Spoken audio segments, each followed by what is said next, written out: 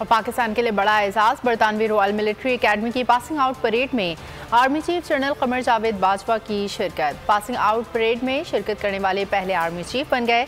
तकरीब से खिताब में कहा कि यहाँ मेरी मौजूदगी पाकिस्तान और बरतानिया के दरमियान गहरे ताल्लुक की गवाही देती है। मुझे यकीन है कि ये रिश्ता आने वाले वक्त में मजीद बुलंदियों तक जाएगा, आर्मी चीफ ने परेड से कैडेट्स की हौसला अफजाई करते हुए कहा।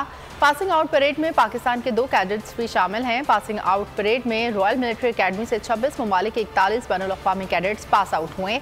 जिनमें से दो पाकिस्तानी कैडेट मोहम्मद अब्दुल्ला बाबर और मुशतबा भी शामिल हैं। सब्सक्राइब करें और बेल दबाएँ ताकि कोई खबर रह न जाए।